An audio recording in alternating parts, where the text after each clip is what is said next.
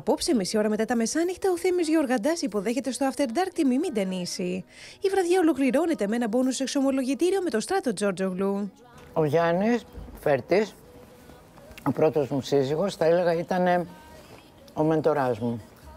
Ήταν μια, ένας έρωτας μεγάλος που αισθάνεται μια νέα κοπέλα προς ένα μεγαλύτερό της και σημαντικότερο από την ίδια. Ο Αντώνης που ήταν ένας τρομερός, παθιασμένος έρωτας, ο Τρίτσης, ήταν ο άνθρωπος που πρόσθεσε πολλά πράγματα στην προσωπικότητά μου. Τι επρόκειτο να παντρευτείτε και έφυγε ακριβώς λίγο πριν; Μία εβδομάδα πριν το γάμο. Αφού η Σίλια Κρυταριώτη είχε φτιάξει τον ηφικό μου. Και ο Σωτήρης, ο τελευταίος μου άντρας και μέλος της οικογένειάς μας, είναι θα έλεγα η, η ασφάλεια και η ισορροπία μου.